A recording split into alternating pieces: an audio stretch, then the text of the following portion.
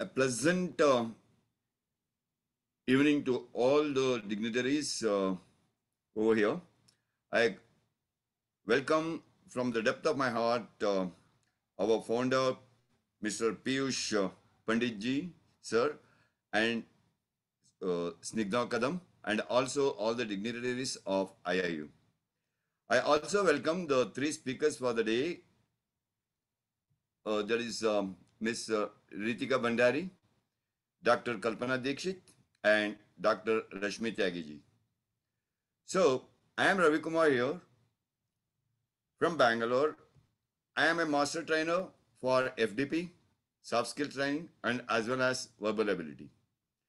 I have put on 50 years of uh, experience uh, overall, which includes the 30 years in the Indian Army and uh, retired after 30 years. And for the last 17 years, I am into training and development post my retirement.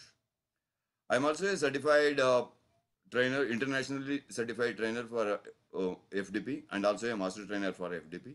I'm also an international certified trainer for uh, uh, students counseling and also a communication coach. Other than that, uh, I am the co-founder and the vice president of uh, She Space India, which is a women empowerment uh, association, and also Trainers Club, which is the uh, club for the trainers where we enhance the trainers' uh, skills as well as give them opportunities to get the opportunities pan India and also at times abroad as well. So this is a small introduction about me.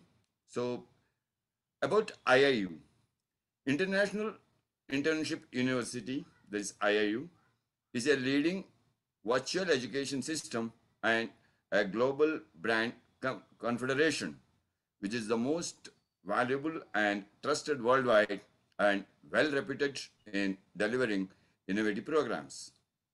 IIU is committed to providing highest quality education to all the learners of the globe, regardless of social or economic background. IIU is providing access to more than 10,000 plus courses and internships to their learners across the globe with the help of its committed, experienced, and high caliber global educators. In a short span of time, IIU has spread its wing in 195 countries and six continents. Under the strong leadership, leadership of its visionary founder, Mr. Piyush Pandit sir, a committed and inspiring social activist, a passionate educationist from the last two decades, providing education to students from various social and cultural backgrounds. Piyush Pandit sir has publicized the World Education Policy, that is WEP. Our one uh, motto is for one education, one foundation, and one world. IIU has taken the initiative to reach every learner in rural as well as urban areas through the Vidyanjali project, an initiative by the Ministry of Education, Government of India, to provide higher education as well as vocational training along with the internship opportunities. IIU is the revolution in education. So today's topic for the webinar is curriculum and pedagogy on National Education Policy 2020. The speakers for the day are in the sequence. There is Miss Ritika Bhandari, who is a very well known speaker as well as a trainer. She is a HOD Chemistry GHPS New Delhi, CBSE resource person, Alive Global Ambassador, author, podcaster, and TEDx speaker as well. She is a recipient of many national and international awards. With 23 years of experience in the field of education, with diverse experience and strong track record, fostering child-centered curriculum and student creativity. Resource person with CBSE, COE Delhi, and teacher trainer with many organizations. Recognized and podcast creator who believes in interrogative cross-culture with initiative approach by conducting workshops, webinars, and teacher trainings on topics like experimental learning, art integration, dramatics in teaching, science teaching strategies, NEP 2020, and many more. She has been appointed as Global Ambassador for SDG by AIEF and SPOC to promote quality education globally, keeping sustainable development goals till 2030. So a hearty welcome to you, Ritika ma'am. And uh, so the platform is yours. Yeah, thank you so much, sir. Thank you for the warm welcome. I'll just be sharing my screen and we'll talk about today's topic about NEP, mostly about the pedagogy part and the curriculum part. So I'll just be sharing my screen.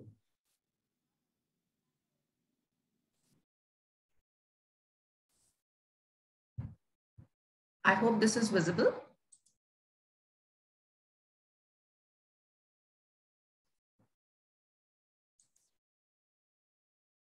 So I start with a beautiful quote, which I really love, and that's teaching children is an accomplishment. Getting children excited about learning is achievement. And I think that's the crux of NEP because we want our children to get excited, let them be happy, let them be joyful when it comes to learning. So keeping that in mind, NEP 2020 has brought a lot of changes uh, which are different from the traditional way we have been teaching from past so many years. So let us see what kind of changes have been brought up and what we can do as the stakeholders to make NAP more effective and how to use that in our teaching learning process. So before I start, I would just like to talk about the difference between education and learning because these are two different terms which are usually taken up as one. So what exactly is the difference between education and learning? So let us see. When I talk about education, it's passive. It, it's based on more of delivery. It's based on curriculum. It's extrinsic it's more of repetition of a content. It is standardized and it's more for grades and certifications, right? But when I talk about learning, because learning is the key for NEP. So how we are changing now, we are changing from passive to active. Uh, earlier, students had a passive role, teacher had an active role. Now we want our students to have active role and teachers to have a passive role. That's the main difference which will be brought about. Second is from delivery to discovery. So it's just not that we are delivering the content, but we are promoting discoveries. If we are able to promote that, I think the work is done. So rather than being a curriculum based, it has to be curiosity based because we need to bring up curiosity in our students. Uh, from extrinsic, we move on to intrinsic, where the child feels like learning. It's not some external pressures which make him or her learn. So that's one thing very important. From repetition to creation, we don't want to repeat the same things. We want to make students create something. And I think that's what we are moving towards competency-based education. Uh, from standardized, it becomes personalized because every child has its own pace and then skills are more important than grades and certification. So if we keep in mind that it's just not the grade and certification, we want skill education. I think that's the key in NEP 2020. So that is the difference between education and learning. So what is seen is when I talk about the curriculum part, curriculum in all subjects is reduced to its core essentials. Now, this is one thing which is very, very important. And the reason is they don't want a huge, humongous amount of curriculum where only rote memorization is taking place. The child is only mugging up and vomiting it out in the exams. No. The reduction in syllabus is that core essentials, minimum learning levels, they have to be kept in mind and the child actually understands rather than mugging up. And the child is able to use those concepts in real life scenarios. Now, that's something very, very important. Then focus on critical thinking, inquiry, discovery, discussion, analysis, and the methods of teaching and learning should bring about holistic education. So that's something very important. We are talking about 360 degree. We are talking about discussions. We are talking about 21st century learners. We want collaboration. We want uh, critical thinking skills. So it's just not textbook learning, but much beyond that. And questions from students will be promoted uh, for experiential learning. Now, that's something very important, and I'm going to talk about experiential learning in detail today in my session. It needs to be collaborative and exploratory activities in classroom for experiential learning and deeper student learning. So I think the curriculum has been designed in such a way that we need to bring in changes in our teaching methodologies also. So I think uh, increasing your ways of teaching and taking up different kind of pedagogies is the need of the hour. So when I talk about holistic development, I think there are no hard separation of curricular, extracurricular, art, science, and vocational craft. So there is a beautiful integration, and it's just not the integration of the subjects, but Indian culture and ethos. So we want moral values also. We want our students to know about Indian culture also. And now there are no silos between humanities, science, or commerce streams. So a child has ability to take up anything, whatever he or she wants, whatever combinations they want. So that's something very nice. Uh, a kind of, you can say, a liberal art curriculum, which is found in most of the other developed countries. So this is something new which is coming up. Then innovative pedagogies to be explored, such as experiential teaching learning methods, book promotion policies and digital libraries. So already we have a Swayam portal, we have Diksha, um, where we can have a lot of content so I think digital libraries, setting up of this is something very important for uh, curriculum. Then holistic report card. Uh, that's again a 360 degree report card where just not the academic, but everything about the child needs to be assessed. Uh, vocational education integration from primary grades and a 10 day, uh, you know, bagless days for classes six to eight. So this has to be a part. Skill education has to be a part. Internships need to be a part of the curriculum. And then taking up Lokvidya, local artists as master instructors in school. So this kind of change is there, which is being brought up with the new national education policy. Uh, for even the assessments, we have PARAKH, now this is performance assessment review and analysis of knowledge. And this is leading to holistic development. So there are certain norms, standards, guidelines, uh, for example, guiding the State Achievement Survey, which is SAS, conducting the National Achievement Survey, which is NAS. I think everybody of us knows this NAS was done for classes uh, fifth to eighth to know the minimum learning level of children in different schools then monitoring achievement of learning outcomes in the country. So we are just not dependent now on the board examination of 10th and 12th, but before that also there are uh, points where a test could be taken and we could make understand that yes, the children are in the learning process. So it's just not uh, fixed for the urban, but for all the community, all the rural backgrounds also, so that each one of the child is getting the exact education, what is required. Now, focus on LOs, that means the learning outcomes. Now, this is something very important because we are just teaching, but is the child getting what we are going to teach? So learning objectives and learning outcomes are one thing which is very, very important. Talking about competencies, again, is very important. And I'll be talking about what exactly competency-based education system means. So modules on preparing and implementing pedagogical plans based on competency-based and outcome-based education for school leaders. Now, this is something very important.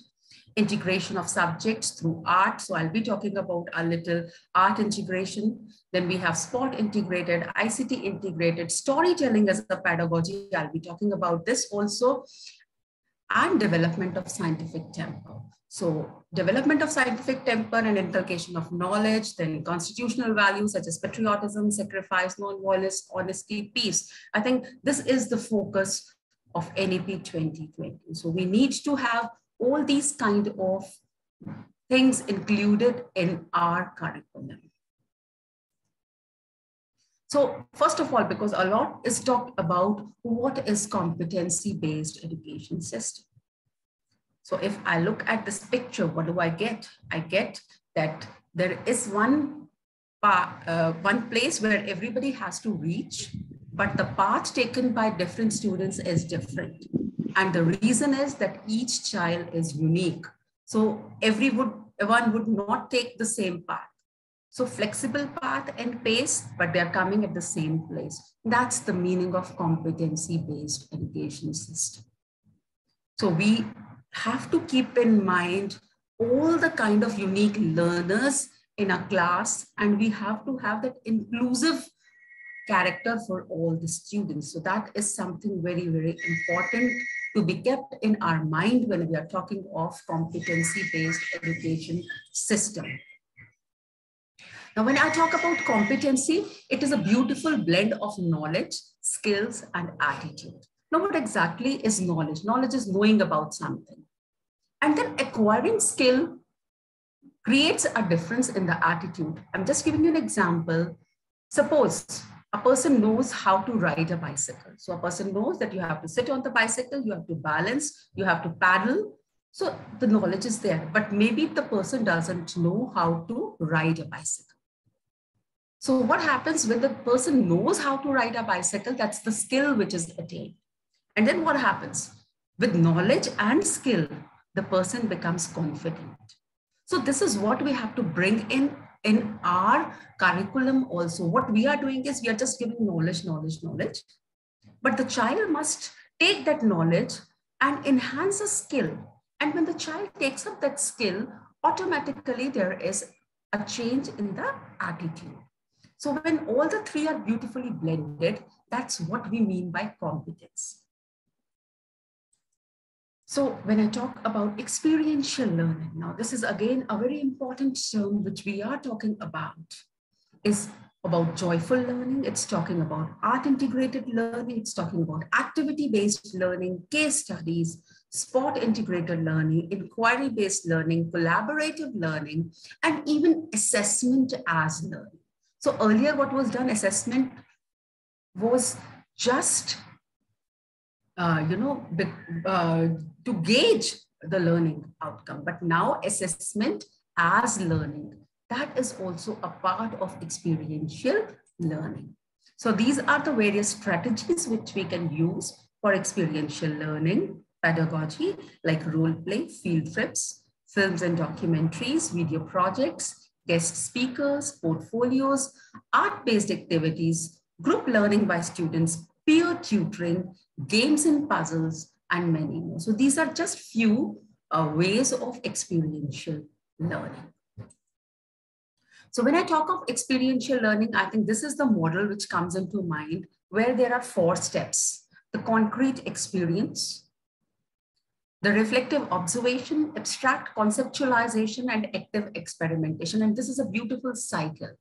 So whenever we are teaching any concept, the pedagogy we are taking into consideration, we have to keep in mind that this cycle gets completed. It's just not the child is experimenting. Experimentation would be an experience, but then we have to make sure after that experiment or after an activity, did the child reflect? Because reflection is a very, very important part of experiential learning. So if there is no reflection, your cycle doesn't complete.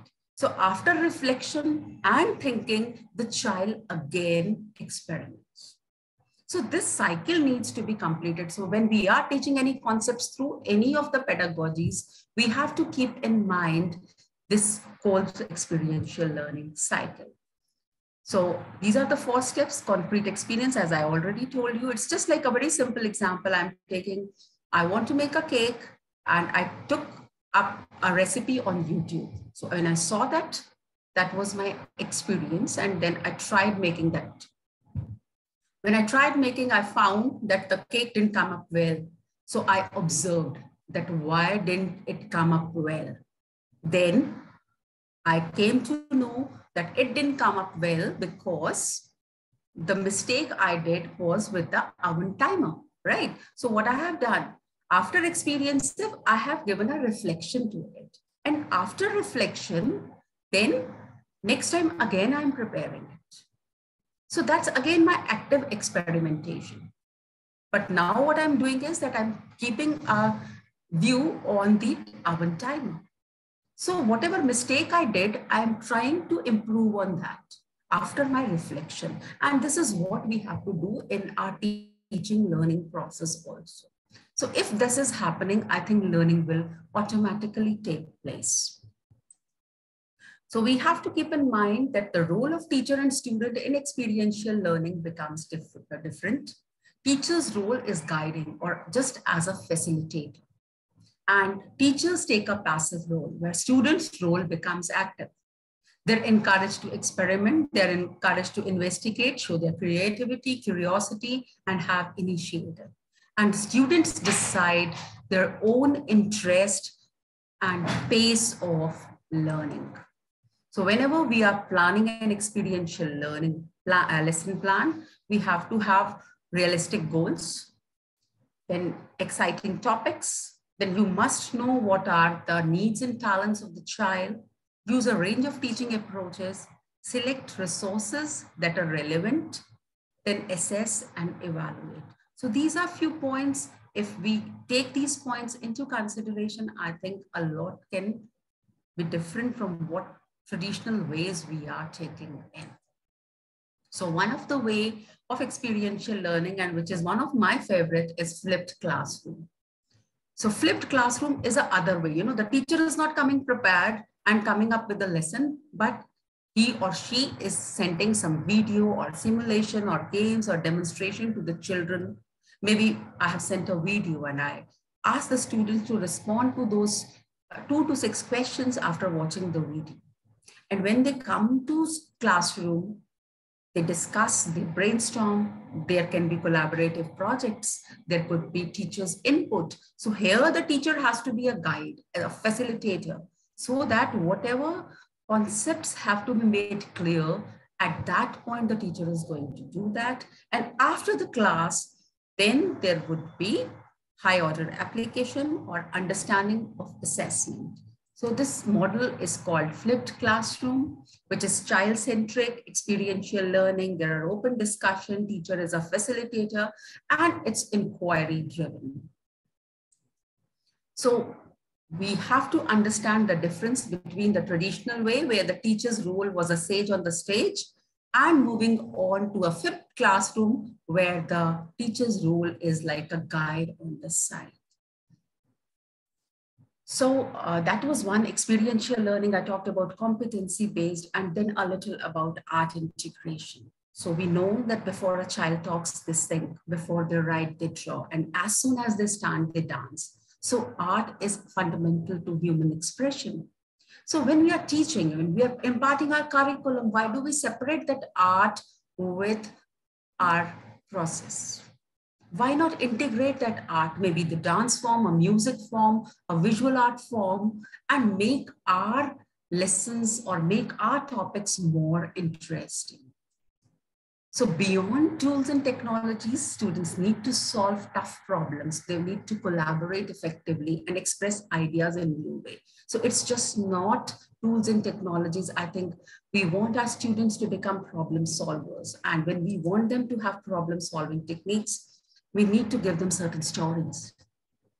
Right, so if we are teaching through stories, I think stories are beautiful way of bringing in a lot. And I'll just be giving you a few examples. So one thing is that it is proven by scientists and psychologists that facts are 20 times likely to be more remembered if they are a part of story.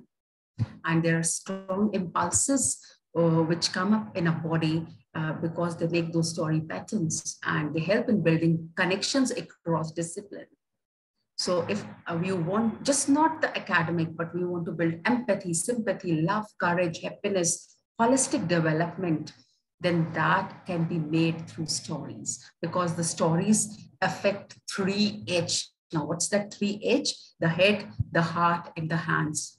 And these are the domains the psychomotor domains or the affective domain or the cognitive domains. So all the three domains of the child are affected through stories. So bring in stories in your classroom and that's a beautiful pedagogy to make children learn. So according to neurosciences, story helps us feel good by release of certain hormones and brain places us inside the story. So storytelling and drama are two things which are very beautifully integrated in classrooms. I'll be giving you a few examples. It's just one example where I'm giving example for image theater. Now you want to teach a concept of photosynthesis and you showed up a video or a picture of two things, one plant and another person who is preparing food in the kitchen. So just give them the situation and ask them what do they gauge out of these two pictures? What do they understand out of those two pictures? And maybe when they talk about preparing food, then the child may question that, yes, we are preparing our food in the kitchen, but where is the kitchen for the plant? And then you can talk about photosynthesis, about leaves and different parts of photosynthesis. So a very simple way, but giving such kind of things or maybe children behaving like, uh, you know, plants and children behaving like a person who's preparing food in the kitchen can give a beautiful blend of the two things and children will understand that concept very easily. Now, this is a beautiful story where you want to bring up life skills because again, life skill is something very, very important. So uh, story building and dramatic pauses. So I'm just taking it up example that there were pink children, which were normal children, which were beautiful children. And then there were green children, which had funny faces and funny noses. So one day the pink children landed in the area where the green children were there. Give them the situation. And then the green children started bullying them. And then ask, what will happen? If you are in this situation, what will happen? How will you tackle this situation? So giving them these opportunities and giving them these ideas will make them think something would be initiated in their minds. They'll start thinking, they'll come up with their answer. And as a teacher, as a facilitator, then you can bring in the right thing. So stories are very important in curriculum, in life skills, and in many more situations. So uh, again, dramatics, you know, children can move in circular path as planets. Uh, you want to teach Bernoulli's theorem and children are behaving as if they are flying or, uh, you know, making an electric circuit using students and just role playing and running from one end to another, or maybe some dramatic ice breaking activities. It all depends on you, how you want to bring in these elements into your classroom. Maybe uh, you're teaching social science and you want to have a youth parliament in your classroom or you want to have a MUN in your classroom. It all depends on how you want to take up. Even a maths teacher can have a circle and tell students to behave as a tangent or a diameter. So just having a small role play or drama can actually improve the concepts very easily. So if we are using these kind of pedagogies, a lot of difference can be made in the learning process. Again, this is a technique which is called jigsaw strategy, which is a very important part of NEP 2020 peer tutoring. So how to use this strategy, I'll just be taking up two minutes more, that uh, we have some topics which we divide amongst students and they are the expert groups, maybe a group of four. They're talking about a particular topic. They, they talk and as a facilitator, you are there to help them out. And when they master those topics, then you reshuffle them and then they are teaching each other. So such kind of peer tutoring pedagogies also help a lot in understanding. So art integration could be, you know, a visual way of creating these beautiful, um, like just a simple apron and they have made a complete digestive system. So this is one way which we can use. There are a lot many more ways. Uh, clay modeling, again, a beautiful use of clay in coming up with any kind of creativity. So give them these opportunities in your classroom where clay modeling or visual art or music or dance or drama is being used up in the teaching process. And when these things happen in the class, the class automatically becomes a joyful class. And I think whatever we want to achieve in NEP 2020, we will be able to take up. So thank you. Thanks a lot. Thank you so much, uh, Ritika ma'am. It was uh, really an amazing uh, presentation by you. And uh, so the entire uh, curriculum and the pedagogy was uh, very nicely explained uh, in this. Uh, to be personally speaking, uh, one of the key learning for me was that uh, I used to use uh, experiential uh, learning cycle only for uh, adults learning. Now it was a good thing that even it can be used uh, in the school level and even in the elementary level as well. So it was a nice thing and it was uh, put in a very nice way. Thank you so much. Uh, Thank you, sir. Thank you so much. And uh, so our next speaker for the day is uh, Dr. Kalpana Dikshit. Dr. Kalpana Dikshit is a research supervisor at Barkatullah University, Bhopal, having 25 years of experience in teaching, training, and research. Served as a UGC approved professor, principal director, and dean at different institutes of Barkatullah University and Shivaji Rao Patil University. Guided and awarded many candidates for doctoral degree and PG MPhil courses. International certified counselor and coach, MSME certified trainer, and ICF certified NLP leadership coach, published many research papers and books with many national and international awards like Best Director, Young Scientist, Best Mentor of Central India International Researcher and Award, Global Education Leader, and International Influential Educator of the Year 2022, resource person and subject experts of NCTE, NCERT, UGC, MHRD, MSME, NSDC, and National Career Service. Ambassador, advisor, board members, and director, academic, national, and international organizations, global director, global educators for education, training, and research and educational management. I welcome you very heartily, ma'am, Kalpana Dikshit, ma'am, for this uh, forum. And uh, I, with your huge experience and so much of uh, knowledge uh, filled in you, I'm very much sure that uh, you'll be putting on a very bright light on the minds of uh, all the listeners and the viewers and all of us over here uh, on this uh, curriculum and pedagogy of the new education policy 2020. So it's over to you. Yeah, thank you, Ravi sir. Uh, such a warm welcome and a beautiful introduction of mine. And I would like to say thank you to Ritika also for solving my 50% issues there. And I am really very glad to, uh, would like to thank you, Dr. Snigdha also, Mr. Peeyush Pandit also. So here I'm Dr. Kalpana Dikshit. I am going to start my presentation. Actually, my today's presentation is based on the curriculum and pedagogy. Curriculum and pedagogy is the theme, and I will totally explain how to integrate all the pedagogical methods in curriculum. Because curriculum transformation and curriculum restructure is the main prime concern of our NEP 2000 2020. So, uh, uh, how can we integrate all the concepts in one curriculum and how to impart to different pedagogical method. Here, uh, Ritika has been explained very well, uh, uh, very well mannered how different types of pedagogy, role modeling, games, play games, uh, storytelling, everything. So I will focus on the curriculum aspects of this.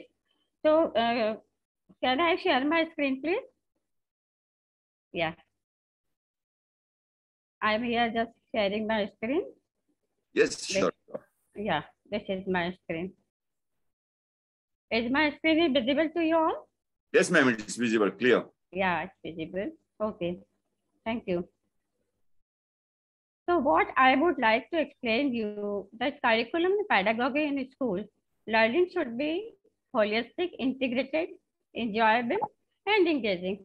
And this is my first slide, being a representative of IIU. I am here presenting National Education Policy, a part of curriculum pedagogy. Structure of NEP 2020. Actually, it has been divided mostly in four parts. Part one is school education, and part two is higher education in the NEP 2020. Part three, other key areas of focus of NEP 2020. And part four, making it happen, NEP 2020. So I would like to highlight on this part, curriculum and pedagogy in the school. Learning should be holistic, integrative, enjoyable, and engaging.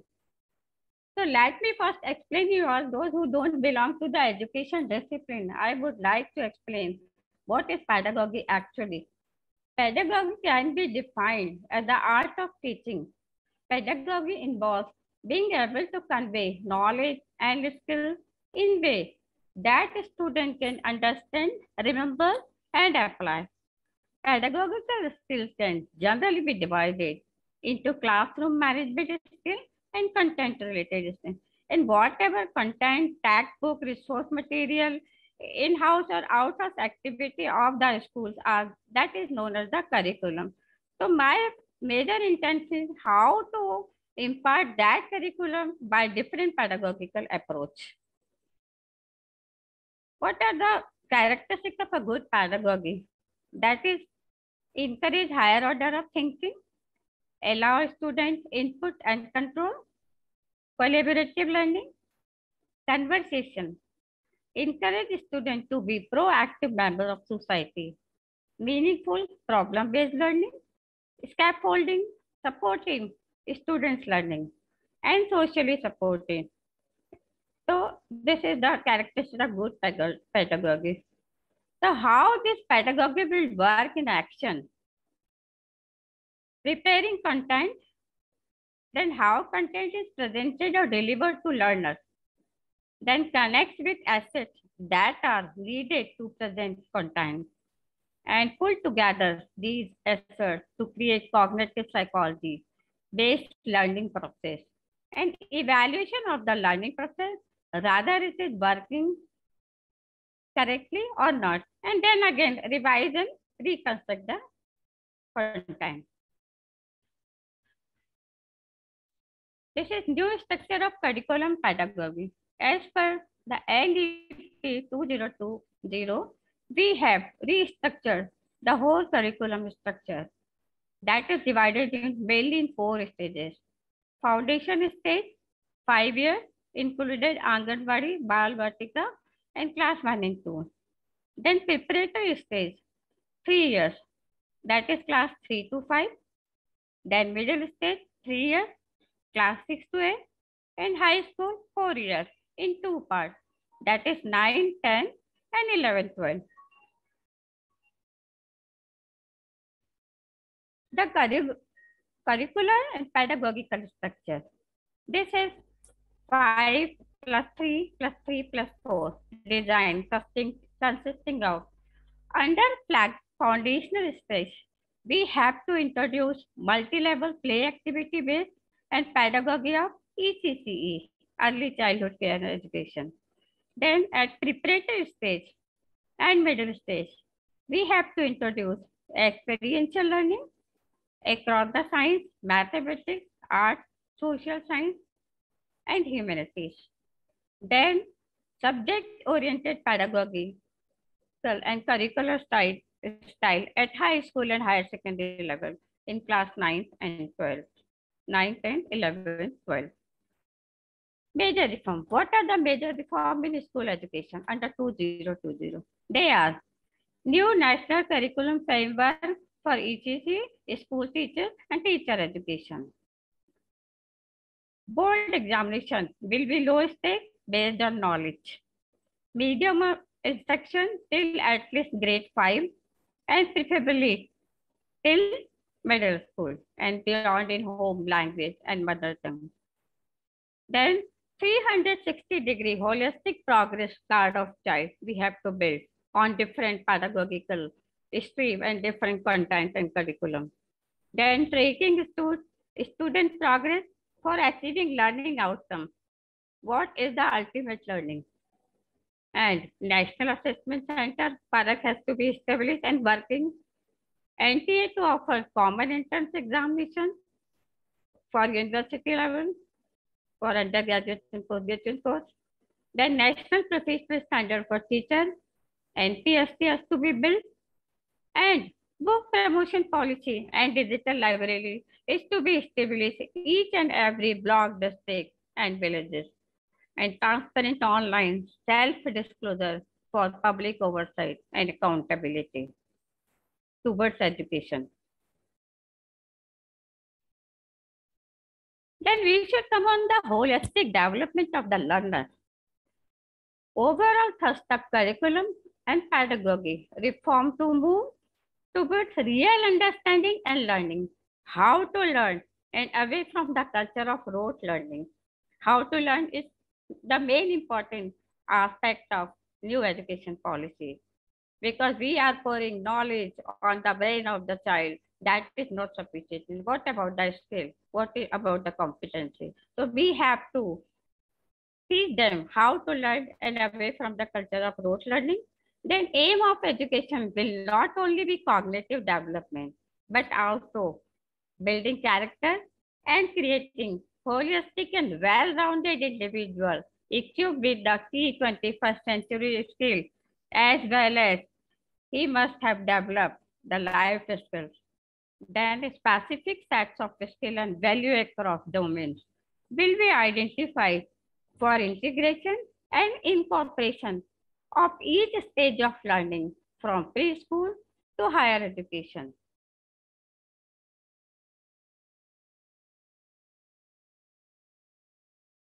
Then we will come on the NEP 2020 holistic development, how to build the learner, holistic development of the learner I will highlight the main point here. Curriculum content will be reduced in each subject to its core essential to make it fair for critical thinking and more holistic, discovery-based, discussion-based, and analysis-based learning. This is very important. Then there will be no hard separation among curricular, extracurricular, or core curricular area they must be integrated in one curriculum itself. Then concerted curricular and pedagogical initiative at relevant stage. Concerted curriculum means the discussion with the regional, national, and block level of experts and the discussion with, with the regional periphery, what is suitable to them as per their tradition and culture. That must be included. Then early childhood care and education is the most important aspect because this has been described as a foundation stage.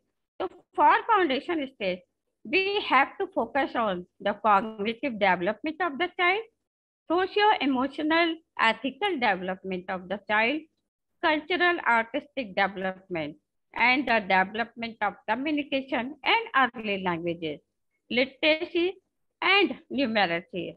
And this literacy and numeracy concept is also applicable to the adult learner also. A national curricular and pedagogical framework for early childhood care and education and CEFT for children up to the age of 8 will be developed by the NCERT.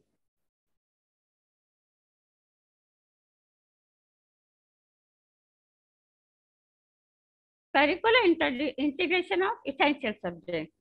We know what are the pedagogy. We are moving towards many pedagogy, rote learning, uh, uh like storytelling and experiential learning, discovery learning, discussion-based learning, di dialogue learning, collaborative method, and uh, concrete method, experiential, many things are there.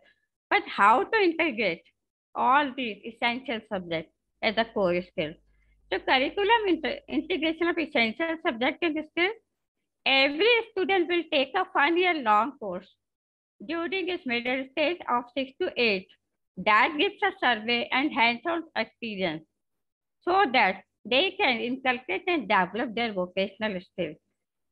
One year long, I am mentioning this because this is a field work, field activity, so that they can inculcate the value of vocational education and they can learn the life skill and that life skill will be supported to them for more independence.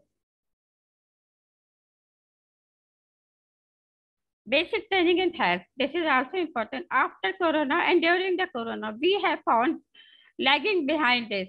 So we have implemented in our national education policy that basic training in health, including preventive health, mental health, nutrition, personal and public hygiene, and first aid will also be included in the curriculum.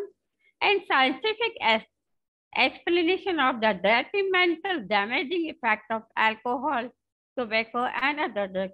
We have to, we cannot move away from this teaching. We have to implement in our curriculum. We have to implement in our day-to-day -day life that we should make our generation aware about the bad effect of these drugs and alcohol and all those things. Because teachers are the major influence in the child brain and personality. When teachers say this is not good, they will definitely apply it. So this is the main important focus. Then competency-based learning and education. The assessment tools, immediate assessment, formative assessment, summative assessment.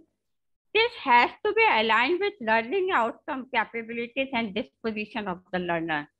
And we have to achieve all these in all stages through experiential-based learning. And that must be adopted in day-to-day -day curriculum for making learning effective and lifelong. This is the flow diagram of experiential learning. What is this? Actually, experience where students participate and engage in learning activity. Then share and review. Then involve in the process of experimentation. Then generalize the inference and after that apply in their personal life. This is this will work like do, reflect, and apply. This is in short the experiential learning.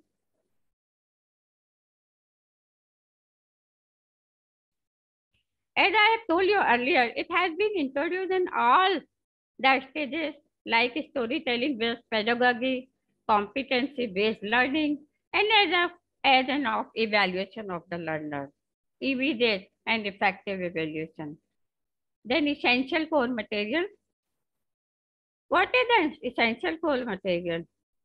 We have to discuss with the expert. We have to discuss with the local educator, we have to discuss with the uh, curricular designer and developer, and we have to apply the flexibility in this curriculum, school curriculum, so that constructive learning can be occur. And teacher will have the choice of textbook they employ among sets of the, if there are suppose for a particular subject A, there are 12 books proposed by a different ICSE or CBSE board. The teacher has the choice to select any one or two of them. This is the ma major aim. Teacher must have given flexibility to adopt and execute the curriculum according to their own way. And teacher can teach in the manner so that learning outcomes will be fulfill the need of the society. So this is a great interaction between teacher, taught, and society. This is the major core value of NEP. Then constructive learning model. This is concrete experience, observation and reflection, forming abstract concepts and testing in new situations. This is also very much important for the high school and higher secondary level when we will bring the student to the lab, outer in the, uh, either in the open lab or in the closed lab, whether it is language lab, mathematics lab, scientific lab, a school playground to use mathematics, sequencing, ordering, and serial points. So this is the way how constructive learning can be generated and developed. Then topic center and project-based club and circle. It is the main recommendation of NEP because we are only pouring the knowledge on the brain and head of the child. We have to develop them for the society. We have to develop them for their personal well-being, for their independent existence. So what we have to do? We have to encourage them to participate in different curricular, co-curricular activities and according to their interest, we have to assign them different club like science club, math club, language club, music club, dance club, everything is there. So previously what we did, we have excluded all these activities and we would like to call them extracurricular activities. Now, this is not necessary. Now we are integrated all these activities within the, within the school curriculum so that students can develop their habits, develop their interest, and perform well in the future career. Then reduction in curriculum. This is also important. Teaching so many subjects in one class, one, two, three, four, five, six, twelve. This is not possible because we want a holistic, developed individual independent child. So what we have to do? We have to reduce the curriculum. In which way we can reduce? Curriculum content will be reduced in each subject so to its core essential. Make space for critical thinking or more realistic, inquiry-based discussion and discussion-based, analysis-based learning. How can we do this? For example, if we are introducing 10 or 12 units in a one subject, so rather than including 10 units, we should merge all the units in 4 and 5 so that we can give the learner opportunity to develop their critical and analytical thinking, reasoning and discussion because we are running fast to complete the curricula. This is not the way or aim of education we have to give the input so that we can draw the output from the child. Then integrated curriculum, this has been suggested that we have to develop scientific temper and evidence-based thinking. We have to, to give health and nutritional, physical education, fitness and wellness.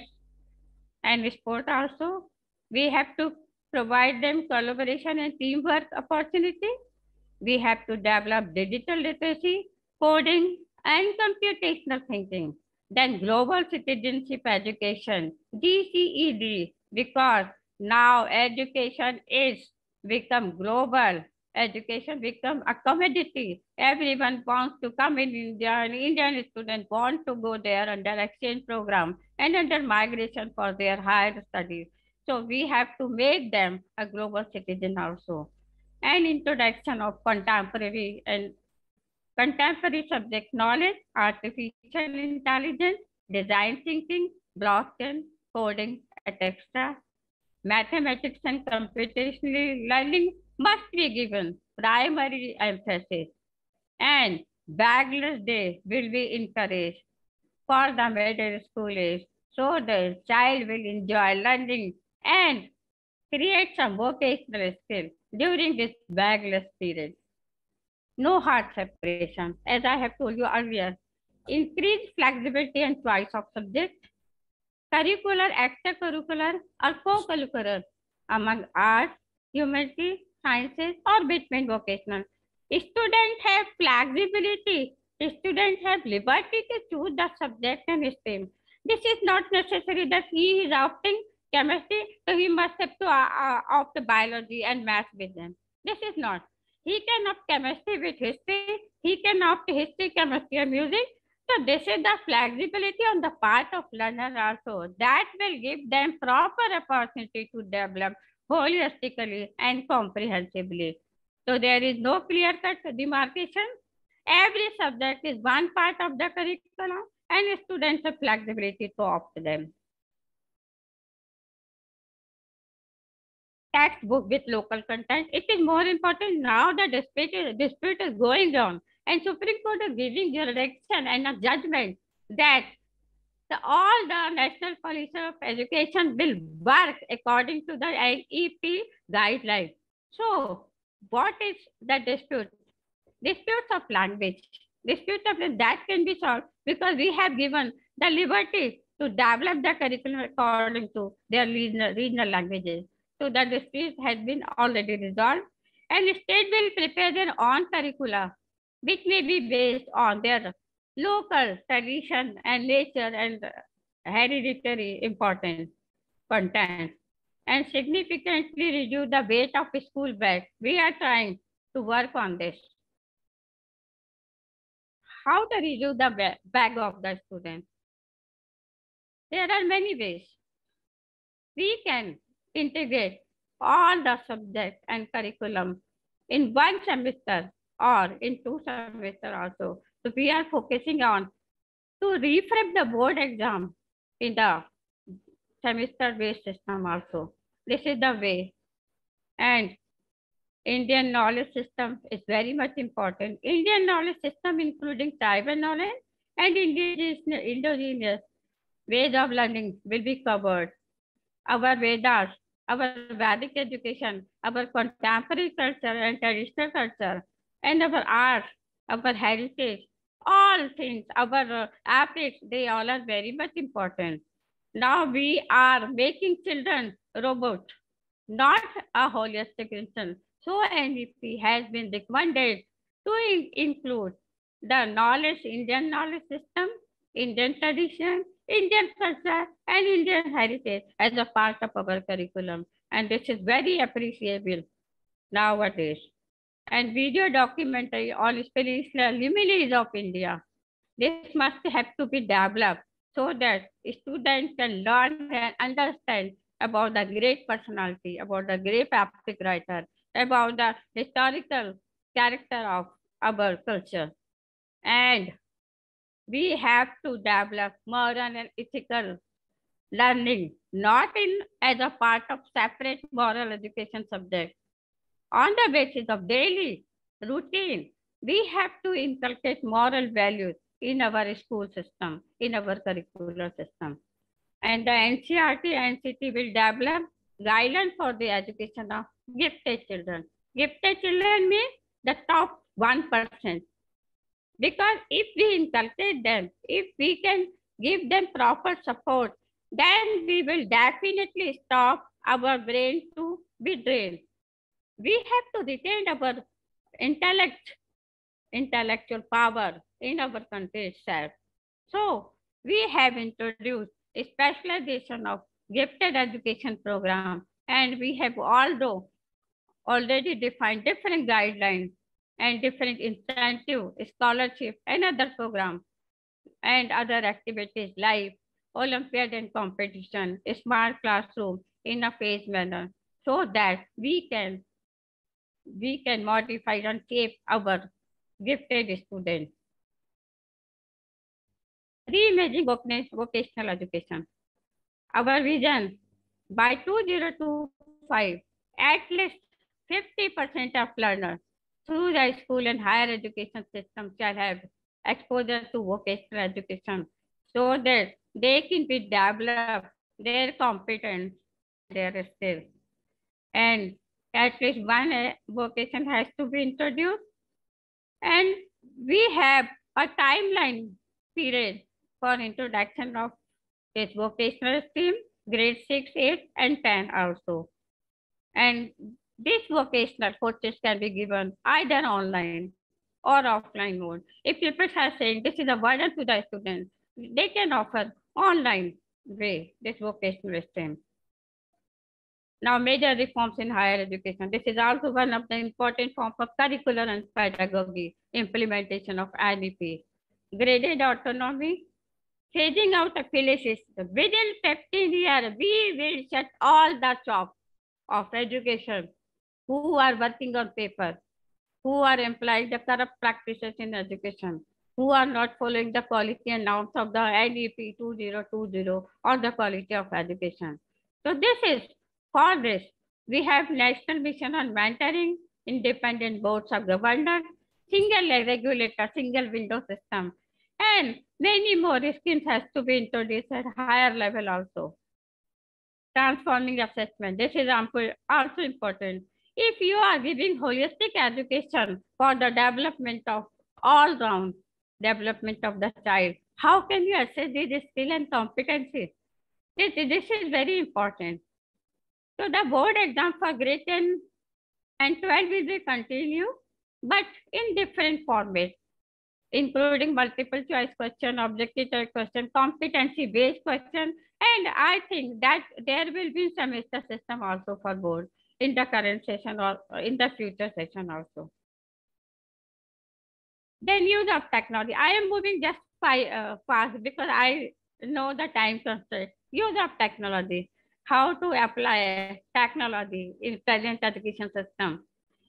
We have to utilize technology in education planning, teaching, learning and assessment, administration and management, regulation, self-disclosure, minimum human interface, and increasing access for disadvantaged group.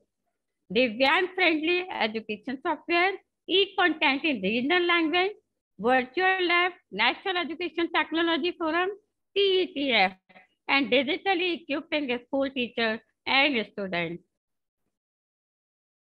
And National Assessment Center PARAKH has to be, has to be established for the review and analysis of knowledge for the holistic development. And National Testing Agency, NTA, is already working very smartly for conducting all type of entrance exam and competitive examination. Then other supportive mechanism, technology-based tools, language appropriate teaching learning material, and regular or special schooling, different resource centers, and knowledge alternative forms of school. Parallel school can be worked. Then National Research Found National Research Foundation, internationalization of education, integration of vocational teacher and professional education, setting up of new quality higher education, and special education zone to be built up. That has to be developed in near 15 or 20 years. And then National Education Technology Forum and MHRD to be renewed as Memorandum of Education with different international or national organizations and universities. Then Foundation Literacy Outcome of anything. And thank you. Here I am finishing my presentation. In the last few slides, I have moved fast because of the time constraint is there. And uh, Ravi sir, I am again thankful to you. Snigdha madam, I am thankful to you. Thank you, the founder of IIU, Mr. Peeyush Pandit, Pandit sir, for giving this wonderful opportunity and for this wonderful initiative to launch on your wonderful university platform. I am thankful to you all that. And Dr. Rashmi Madan, I am really thankful to you also that you have heard me patiently and waiting for your turn. Thank you. Thank you so much, each and everyone. Thank you so much, uh, Dr. Kalpana Dikshit, ma'am. And uh, it was uh, really a wonderful uh, presentation from you, uh, which was uh, really very well articulated about the good pedagogy and its actions, and as well as holistic development of learners and its benefits, implementing it for the life at an early stage in the schools. Also, it was a very good uh, presentation on experiential learning and uh, choice of options uh, of uh, choosing the subject for the students uh, gives the wide range of uh, scope for the students to de- self self development. Thank you so much, and it was really a very wonderful session, and I do present my gratitude to you from the depth of my heart. Thank you, sir. Thank you so much. Yes, um, now our next uh, speaker for the day is uh, Dr. Rashmi Tyagi Dr. Rashmi Tyagi is a very well-seasoned educationist, CBSE master trainer, Navodaya Vidyalaya master trainer, science communicator, environment activist. Doctorate in from IIT Roorkee, masters in education from Mumbai University, trained as a principal at IIM Bangalore, Resource person, Rita Colombo, Sri Lanka. Resource person, Oxford University Press.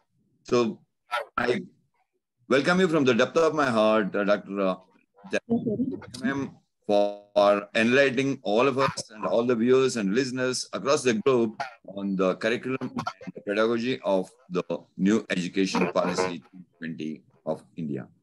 The platform is yours. Namaskar.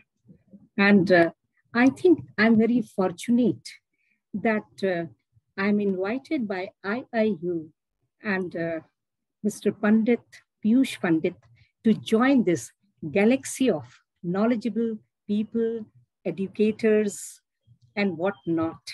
And hearing them talking about the NEP 2020, National Education Policy, it is really wonderful. And uh, they have already talked about it in a comprehensive way. And I think then I'll take it in a general way. And for that, uh, I just remember something about Einstein because I'm from a science background, but due to the transformations in education, I'm also inclined towards arts these days. So Einstein, you know, as all of you know about him more than me, that uh, he was a professor in a very good, I mean, excellent university, I should say, of that time.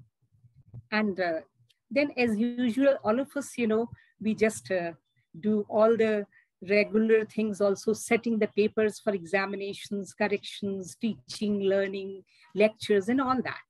So he had set a paper. First year, it was really good. The supervisors and the students, they were very happy that a very good question paper has come. Second year, fine, the same question paper was there they just, some of them raised the eyebrows, but still okay. And what happened, you know, for the surprise of everyone, third year also the same paper was given. Then the supervisor, she was very nervous. She has gone to Einstein, sir. And then she said, sir, third year also the repetition of the same paper. Einstein said, there is no problem. It's okay. I have given this paper for the consecutive years. And then he said, see, the questions are same, but the answers are going to be different.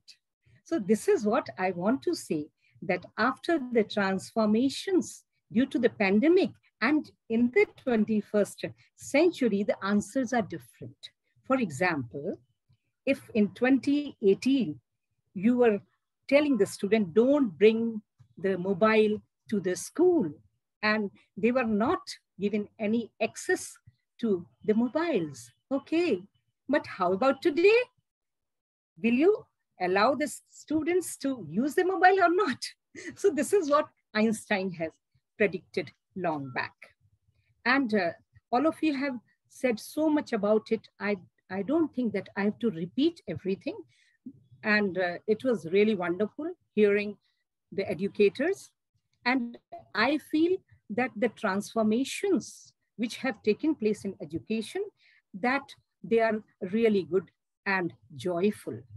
And now we have to teach the students in the way that we should have a happy curriculum. As today we are talking about the curriculum and the pedagogies. And I think I can include here the assessment also. So in the education, school education, mostly we are just handling these three things. And all of you know about the traditional teaching learning system and the assessment systems. But now it is changed and different types of very good pedagogies are there. And, you know, we have got foundational stage, preparatory stage, middle stage, and secondary stage. And already Kalpana ma'am has talked about it. And now what we have to do, the syllabus is given to us and the syllabus is going to be the same, but we have to just modify into a curriculum that how it will be presented to the students. So as it says on its own, that preparatory stage, you know, we will be just uh, giving to the students some very good presentations, reading, writing, and all these listening skills. And we'll be showing them with the puppets.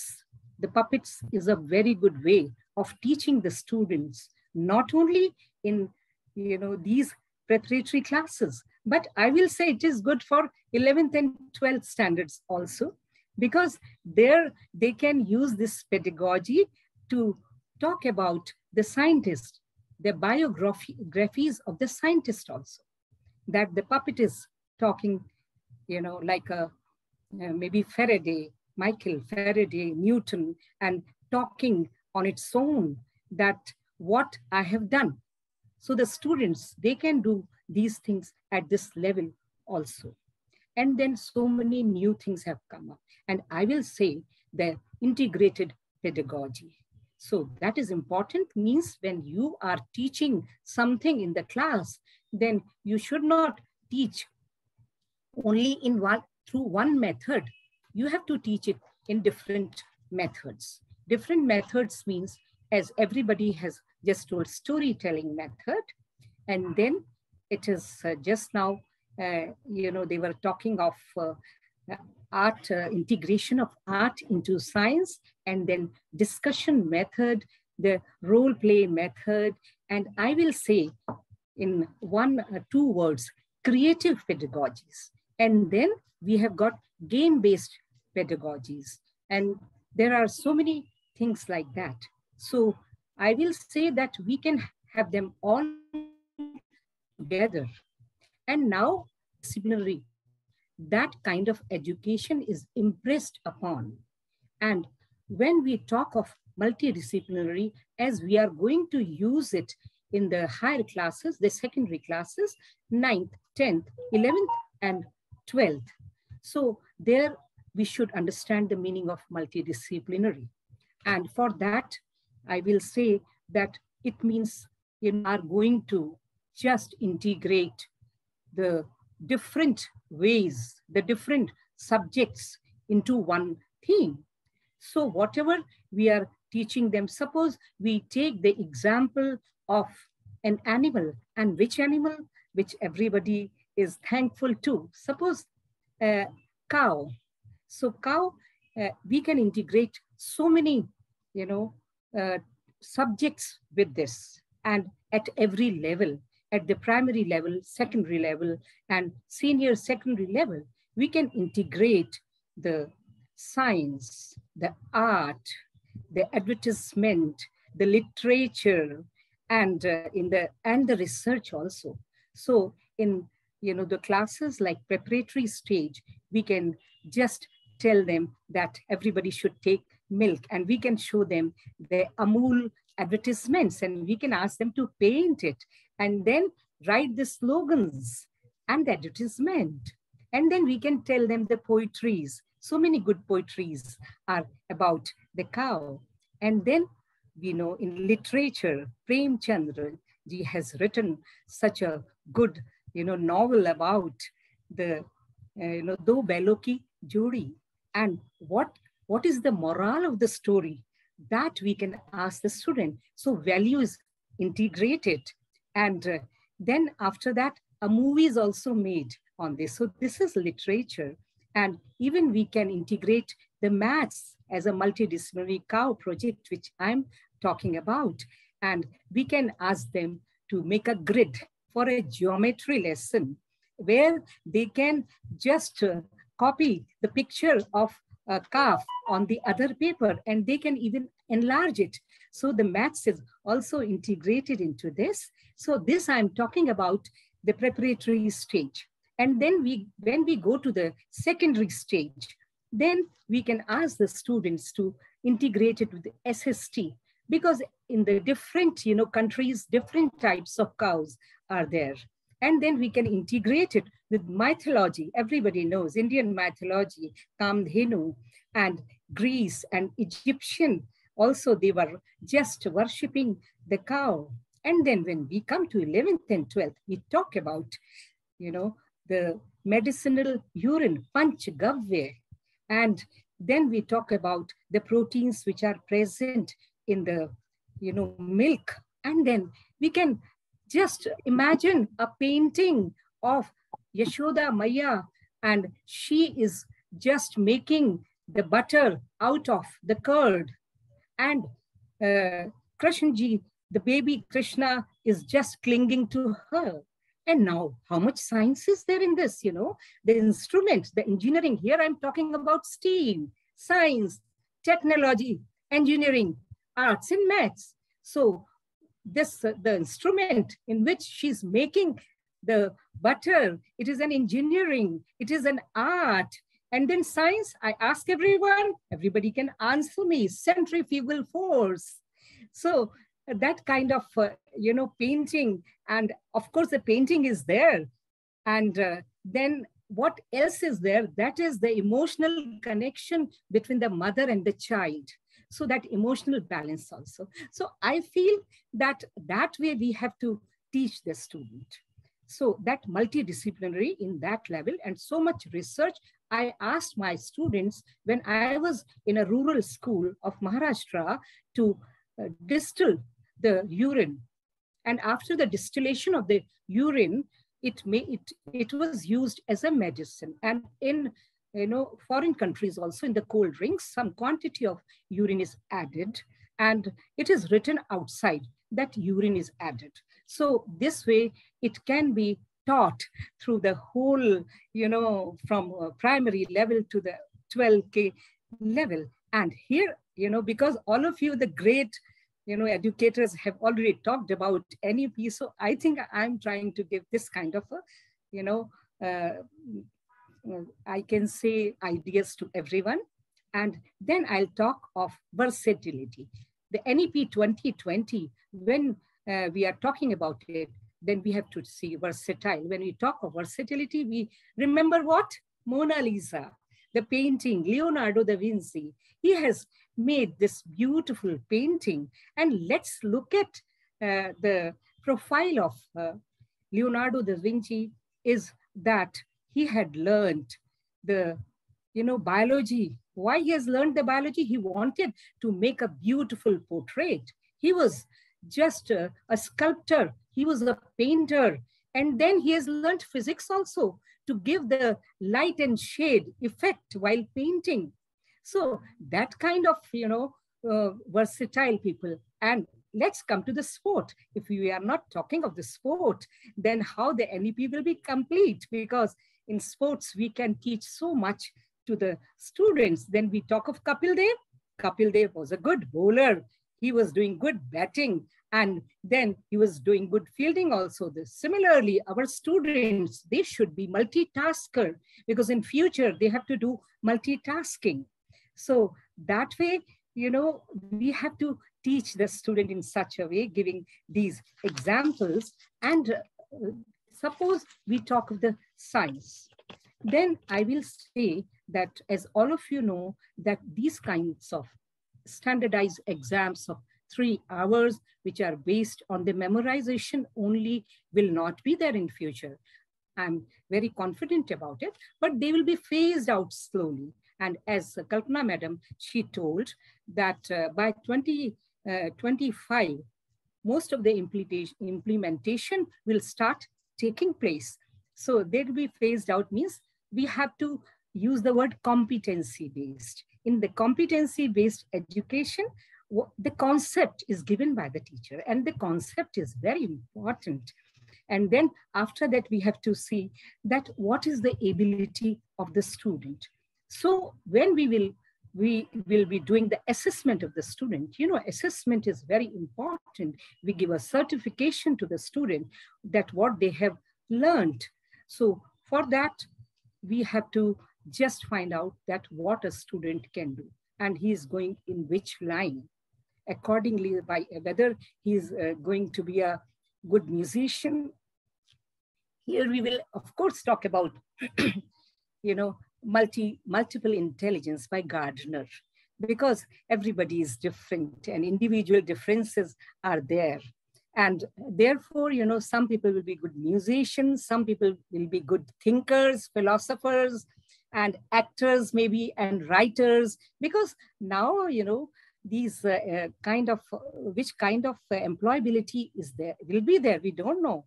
And uh, the two speakers, they have talked about the robotics and, uh, you know, these new digitalization of education. So in that context, the assessment may be of open book test and they will be concept based only and maybe MCQs. MCQs have already entered the arena of assessment. We all of us know, and uh, now uh, I think that way uh, everybody is talking, and I'm th thankful to the IIU that uh, they are really giving such an uh, you know exposure to us, you know, because when I'm talking here, I've listened to all of you, so I have Im imbibed it so much. But then, uh, you know, I will like to show you one uh, uh, PPT also because uh, I like the creative pedagogy. And I tell you, when I was at IIT Roorkee, I was not really studying uh, so much. I was participating in the sports. I was participating in the debates, competitions, and then I was playing billiards. I was into the athletics and uh, all those things but I just got the certificates. I never got, you know, any marks or uh, any credits for that. And I was doing painting also. I was participating in hobbies club also.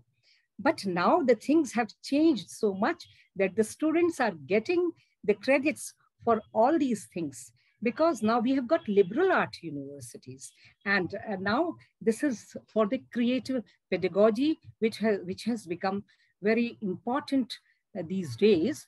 And let's see how we can uh, do this creative pedagogy. So let's define it in a simple way, teaching creatively, teaching for creativity. When we talk of creativity, then we always remember Bloom's taxonomy. And all of you know about that pyramid, which starts from, you know, lots, lower order, and then we go up and that is the creativity. And the creativity is talked about by NEP 2020.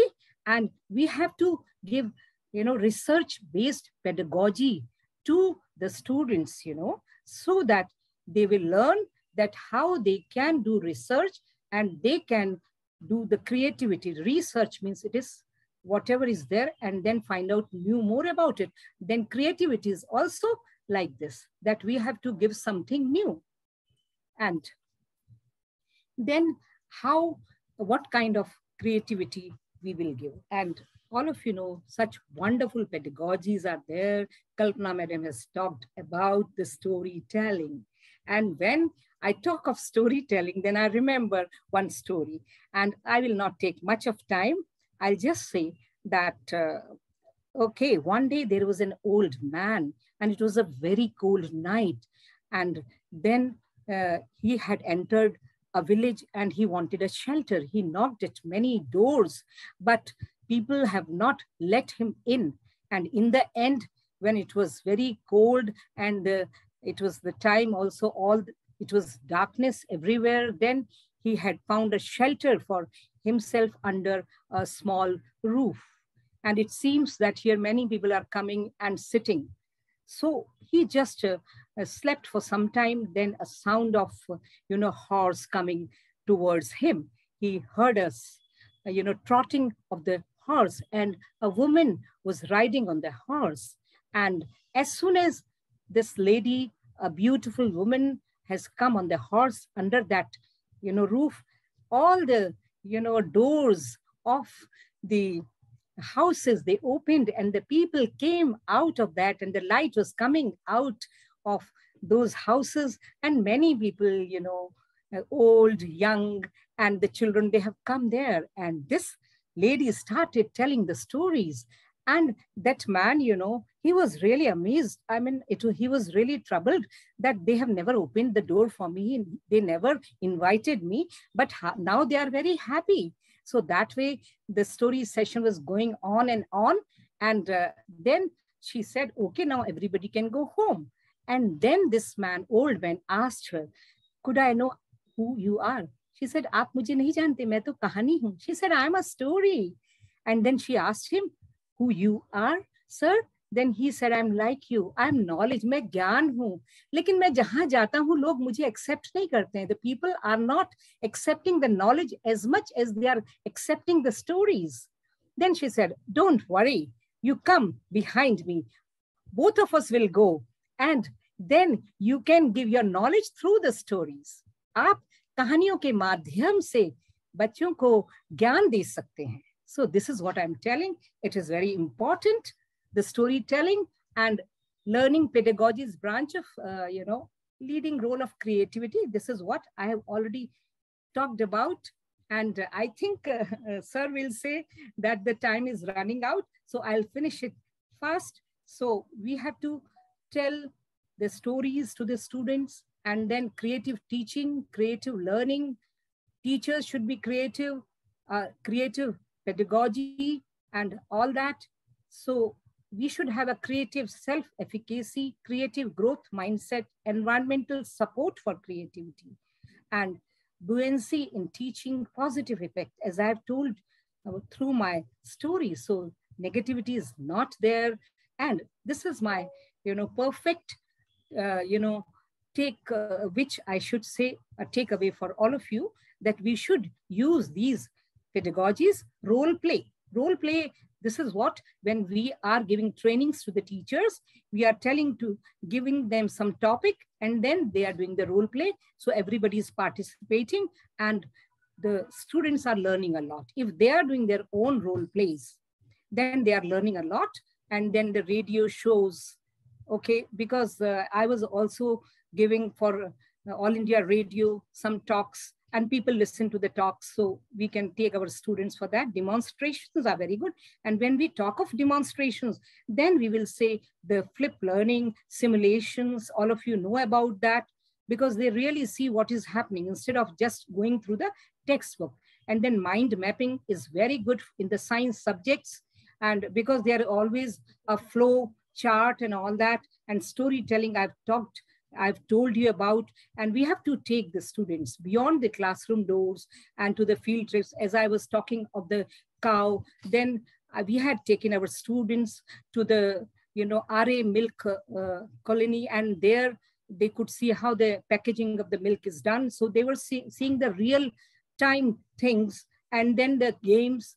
And uh, when somebody, uh, when they are playing cricket, then the muscular a movement and how much energy in throwing a ball and then what is the velocity of the ball. So this is what we had done that we had taken the students to the uh, playground and then we have taught them the physics the momentum and all those things.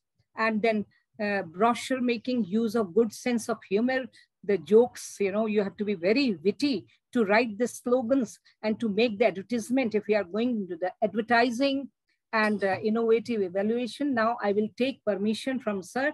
I think I have taken more of the time. So I will stop here, sir, because see, knowledge is so much to be done, but we have to respect the time. Okay, sir? Yes. Shall I stop here?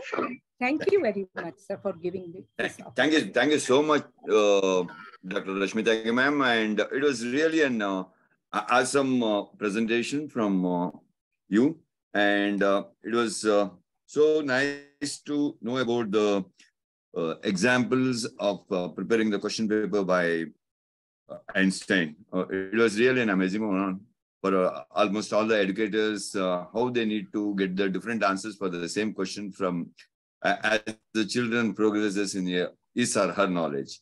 It was really a very nice example quoted here. And it was a really wonderful explanation about the mythology of uh, covering all the fields of education. Really, you, you have put everything into one and that itself uh, tells that uh, how holistic you are. So very nice explanations and uh, thank you so much from the bottom of my heart. Uh, so before uh, I conclude this session, I would like to just ask one simple question to all the three of you. That is Ritika ma'am, Kalpana ma'am, and also uh, uh, Rashmi ma'am. So we have all talked about a lot of uh, pedagogy, uh, pedagogy, and uh, other sort of things, different um, uh, methodologies that we use for uh, teaching. Uh, my one question to all of you is that uh, can each one of you give one simple tip uh, for all the educators or the upcoming educators, those who are, might be watching on the FBI, that uh, how to simplify the curriculum for this holistic education? Because already the curriculum has been uh, simplified by the government itself. So out of that, how they can simplify that curriculum to the need of this uh, hour and uh, make it more, much more holistic for the learning of the students. One tip from each one of you would really help all the educators, those who are uh, watching this uh, event, and it would really be a great help to all. So shall I start from uh, Ritika ma'am? If you are there.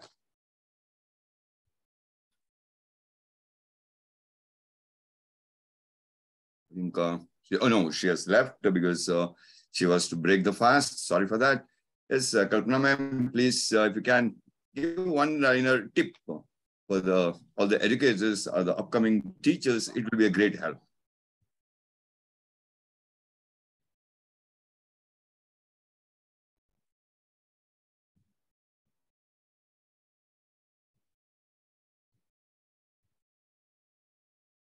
Kalpana ma'am? Kalpana ma'am, you have to unmute.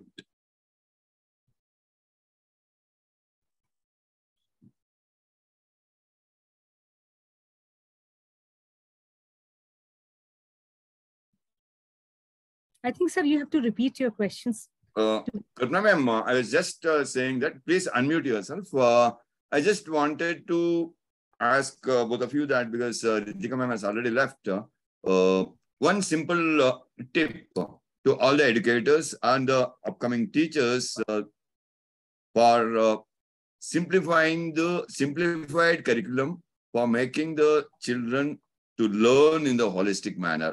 One simple tip for all those educators.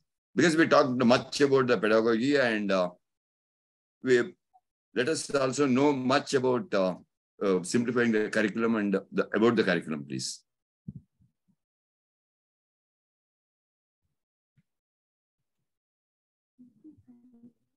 Sir, I think uh, she's not able to. Yeah. hear- Yes, ma'am. You you can please, uh, because let us not waste time. Uh, Time is running out. Kalpana ma'am, can you hear me? I think she can't hear. Can you hear me? Can you hear me? Okay. Yeah, but you have to, yeah. Yes. So, Yes, ma'am. sir, question, I want you to answer it first. What do you want to ask, ma'am? Uh, ma'am, I was uh, telling that all this while we talked uh, more about the pedagogy that uh, we are uh, using for the teaching this thing. But I just wanted a one small tip from uh, both of you for the teachers or all the educators rather, and also the upcoming uh, teaching faculties uh, and the educators, where they can simplify the simplified curriculum because the curriculum has already been simplified or reduced uh, in size by the government. So how do they simplify that simplified curriculum for uh, making the holistic learning for the students? One small tip so that uh, everybody can be helped out, out of that.